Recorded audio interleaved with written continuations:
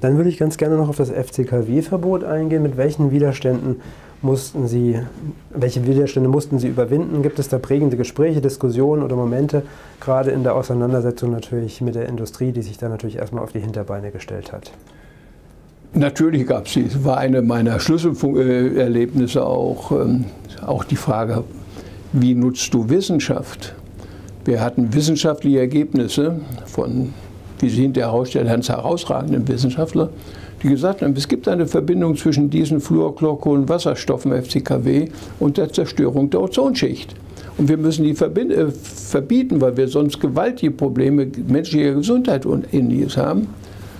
Und das haben wir dann in Angriff genommen.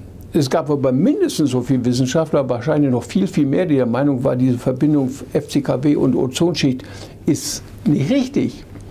Du kommst ja nie dazu, dass die Wissenschaft eine Meinung hat. Du hast immer Unterschiede bis zum heutigen Tag mit Klima. Das ist genau der Punkt gewesen.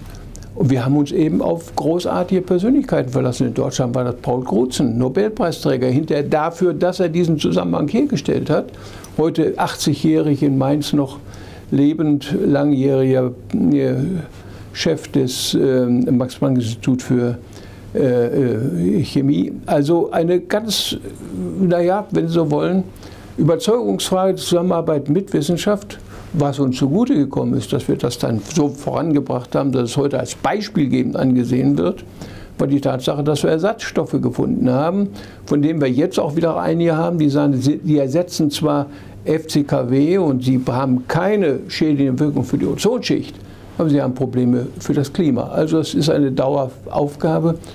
Aber dass dort die Wirtschaft massiv gearbeitet hat, zu sagen, das ist absolut nicht belegt, das hat sich dann ge geändert, als Ersatzstoffe da waren.